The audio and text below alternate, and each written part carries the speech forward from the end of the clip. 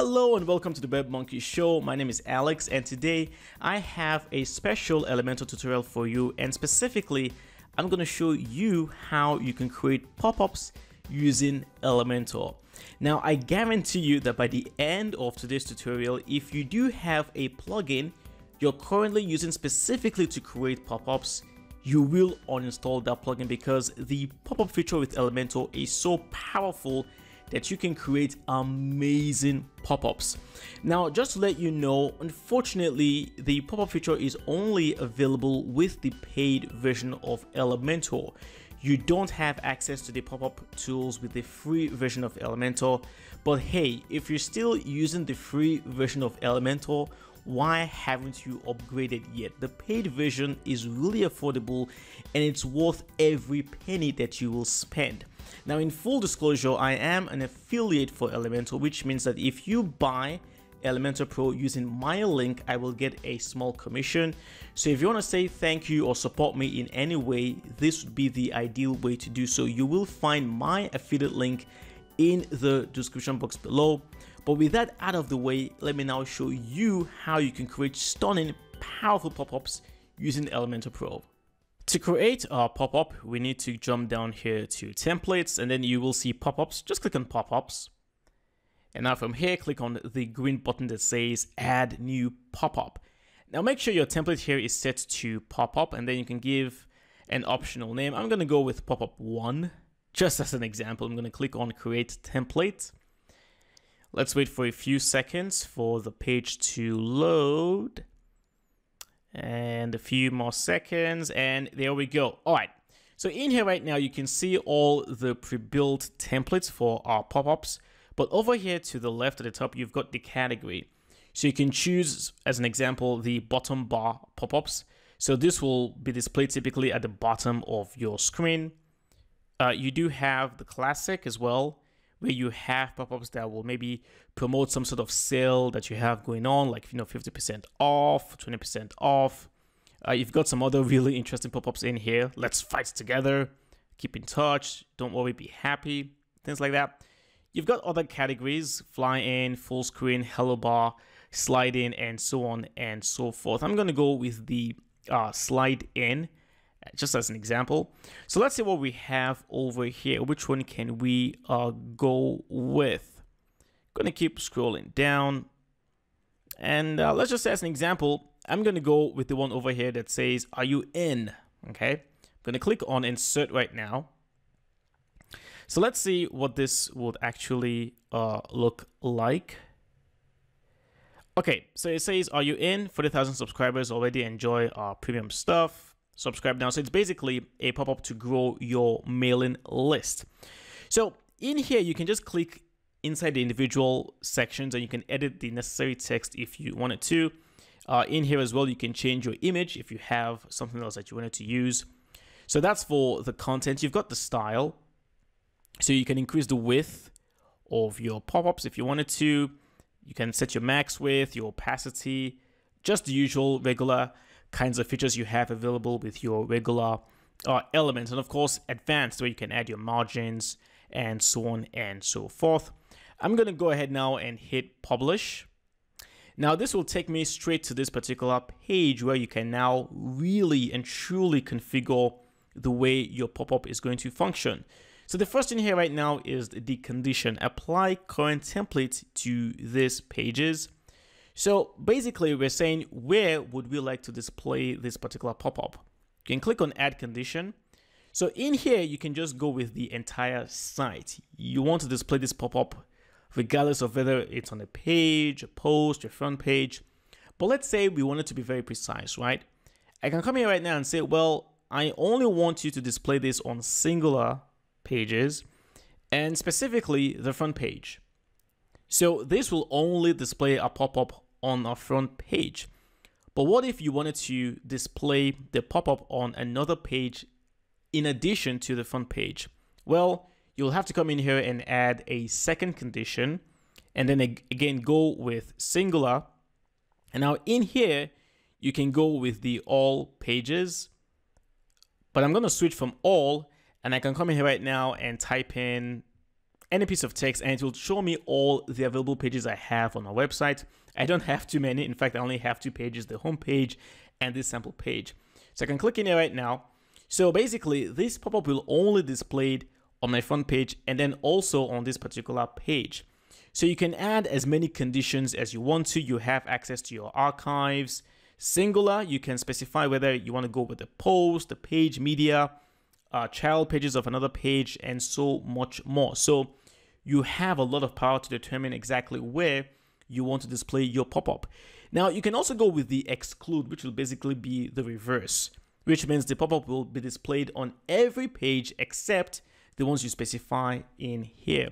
So I'm going to go ahead and remove the last two conditions. So this will only display on my front page. Good. Let's go ahead now and hit next. Now in here, you've got access to six different kind of triggers that will determine when the pop-up should be displayed. And the very first one here is on page load. So I can come in here, turn this on, and then say, well, once the page has loaded, wait for four seconds before you actually display the pop-up, right?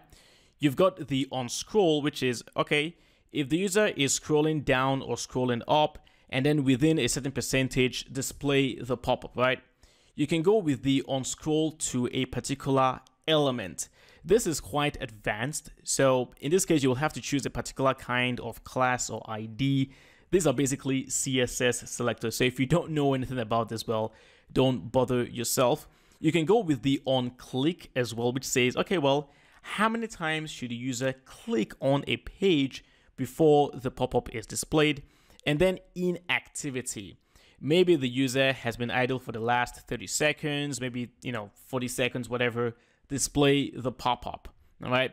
And then on page exit intent, this is one of the most powerful triggers. And this is extremely useful for capturing people's uh, emails. So basically what this does is if the user moves the mouse towards the close button for the window, that's when the pop-up will now be displayed. That is extremely powerful. And really, these two, this top two, the on-page load and then the on-page exit intent, these tend to be the most common types of triggers, right? So in this case, I'm going to go with the latter on page exit intent. All right, let's go ahead now and hit next. And now in here, this is where the Elementor pop-up becomes extraordinarily powerful.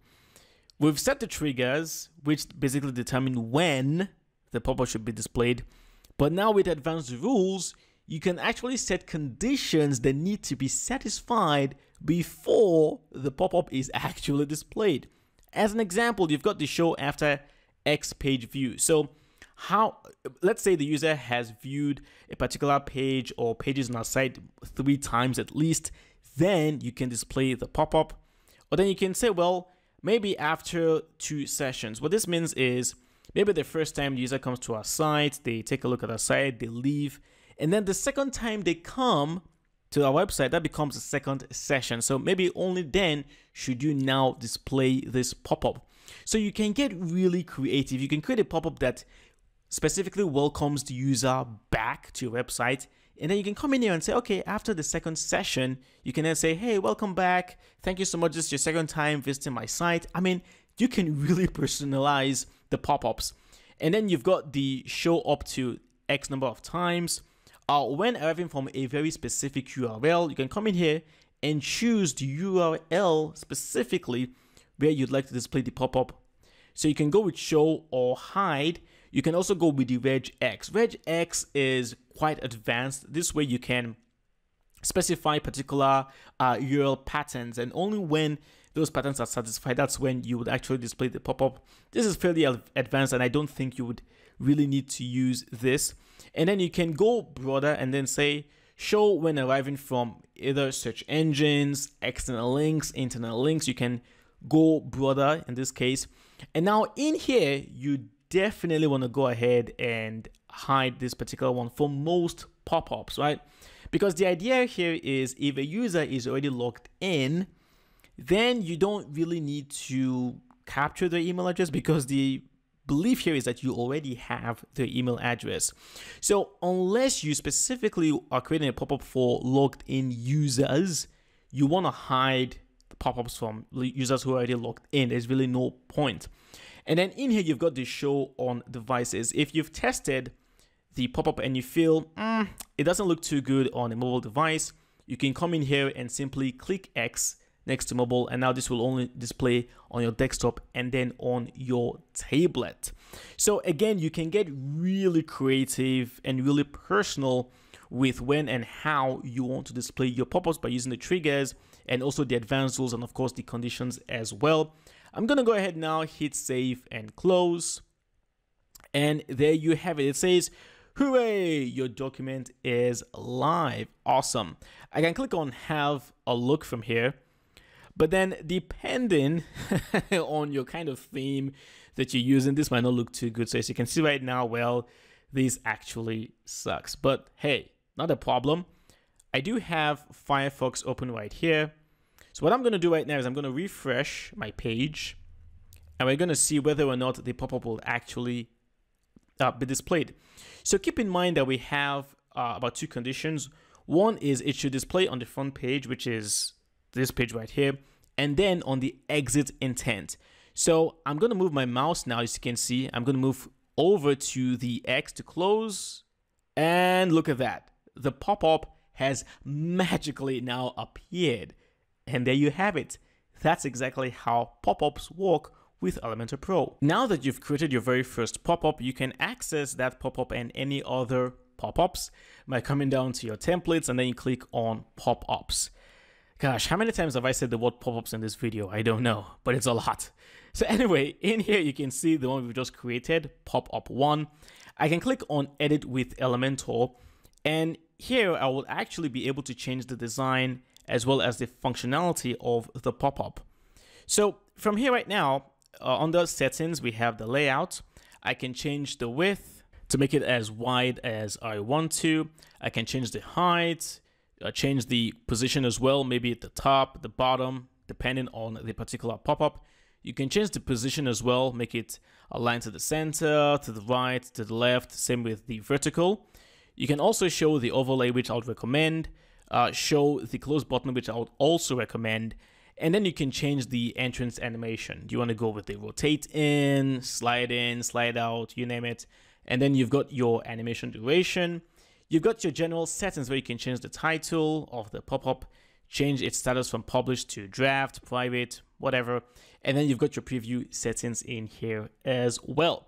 On the style, it's pretty much basic. You can add your background, maybe a background color or an image. You can add borders, your overlay, and so on. But under advanced is where things can get quite interesting. So in here, you can decide to show the close button after a certain amount of seconds.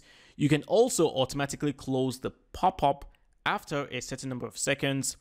Uh, you can prevent closing on overlay. You can also prevent closing on escape key. You can disable page scrolling, which means that basically, if the pop-up has loaded, the user will not be able to scroll down or up until they either opt in for the pop-up or they decide to close the pop-up. And then you can avoid multiple pop-ups and I will highly recommend you go with this option because you don't want to annoy the user on your website. If you start displaying pop-ups every time, that can get quite annoying. So we're basically saying, well, if one pop-up has already been shown to the user, do not show this pop-up. Only show this pop-up if it's the first pop-up the user is going to see. So I highly recommend uh, you go with this particular option. So I'm just going to go ahead now and update and uh, that's pretty much how to design, build, and then configure and show your pop-up. But before I round up this tutorial, I want to show you one quick new feature. See, you now actually have the ability to pull in the information of the user that is logged in on your site. So as an example, take a look at this, okay? Rather than saying, are you in, what if I wanted to use the user's name and then invite them to join the mailing list, just as an example? I can click on the text and this will take me to where I can now edit the title, are you in? Over here, I've got the dynamic content. I can click in there And then if I scroll down here on the site, you will see user info. Again, keep in mind that the user needs to be logged in most of the time for this to actually work. I am logged in as White Hat, so I'm going to go with the user info. And now in here, you can then choose the particular field. Do you want to go with the ID of the user, the display name, username, bio, and so on? I'm going to go with the username. And just like that, White Hats, my username that I am using to log into my site has now appeared. So this is a very powerful new feature that Elementor have added. And you can use this with your pop-ups to create really powerfully personalized pop-ups that will really impress whoever the user is that's on your site. So you can go with username, first name, last name. Uh, it really depends on what you want to go with. And then you've got the advanced tab. Do you want to display this before a certain amount of text or after a certain amount of text? Or if the user doesn't have that particular uh, information, then there's a fallback. So in this case right now, I can just say, uh, just as an example, uh, my friend. okay, so just as an example, I'm going to say my friend, okay? So let me go back in here, change the field the settings, change the field from username to, uh, let's go with uh, first name because I don't have a first name.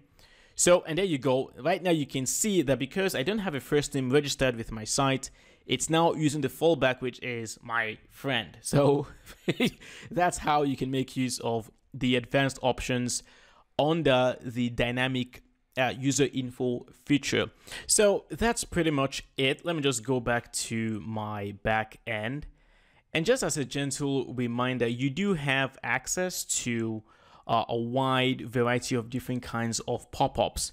So feel free to jump back in here under the templates and then choose any particular kind of pop-up that you want to work with. You've got pop-ups for capturing their email addresses, pop-ups to promote some sort of new product. You've got pop-ups for uh, promoting some sales. You've got pop-ups for notices, warnings, things like that. So you have a wide variety of different kinds of pop-ups you can work with. You can edit them and then choose exactly when and how or where you want to display those pop-ups. Well, there you have it. We've come to the end of today's tutorial and hopefully you now know exactly how you can create powerful pop-ups using Elementor Pro. Just a gentle reminder, I am an affiliate for Elementor Pro.